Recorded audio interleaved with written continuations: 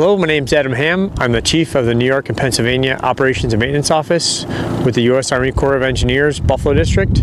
Today the district, along with the Rivers Regional Repair Fleet and BIDCO Marine, are moving the lower west operating gate and placing it in the parking lot to start repairs. Here the R3F crew is cutting the adjustment wedges to remove the gate from the existing anchors.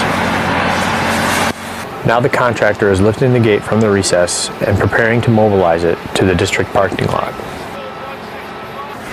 The contractor is removing zebra mussels and sediment from the pocket and face of the gates to reduce the overall load of the gate and to reduce the cleanup prior to repair.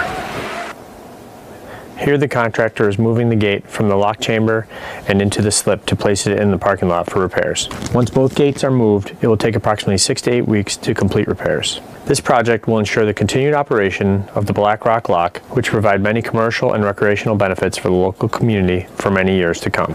The U.S. Army Corps of Engineers is building strong.